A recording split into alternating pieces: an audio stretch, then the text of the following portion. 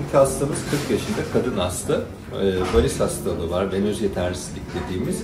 E, sağ alt ekstremitesi, sağ bacağındaki vena saphana magna dediğimiz damarda bir yetersizlik söz konusu. Biz bunu lazer yöntemi yani endovenöz lazer ablasyon dediğimiz yöntemle e, tedavi edeceğiz.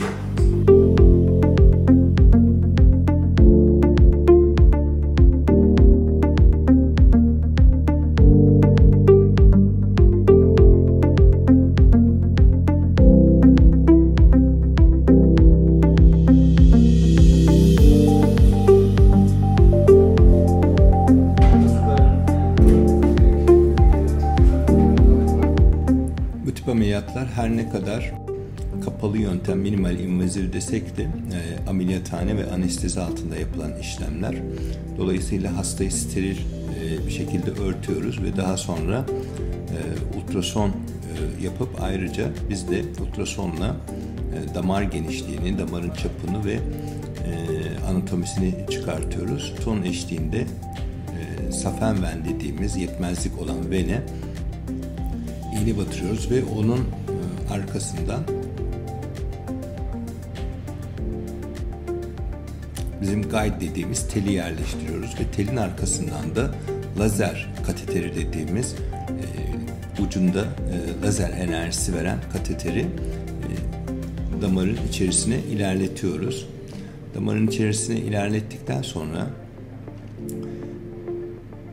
derindeki ana toplar damarla birleştiği yere kadar ilerletiyoruz ve e, bu noktada e, ölçüm yapıyoruz. Yaklaşık bir, bir buçuk santimetre denir, derin benden uzakta olmasını sağlıyoruz ki derin benlere trombüs oluşturup komplikasyona sebebiyet vermesin diye.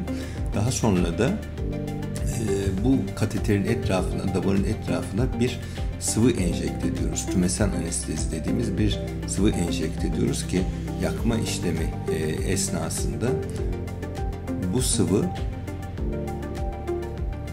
damarın etrafındaki dokuları korusun.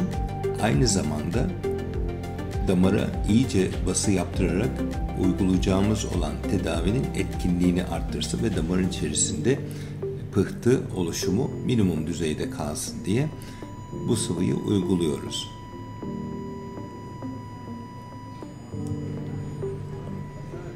Daha sonra cihaz üzerinde ven çapına göre vereceğimiz enerji ve sürelerini ayarlıyoruz. Bu şekilde lazer kateterini geri çekerek damarın tüm segmentlerini lazer enerjisiyle yakmış oluyoruz ve bu şekilde damarın içerisinden artık kan geçişi mümkün olmuyor ve kapatılmış oluyor. Dolayısıyla da reflü akım dediğimiz geriye kaçış akımı engellenmiş oluyor. Venöz yetersizlik tedavisindeki en sık kullanılan yöntemlerden belki de en sık kullanılanı endovenöz lazer ablasyon işlemi.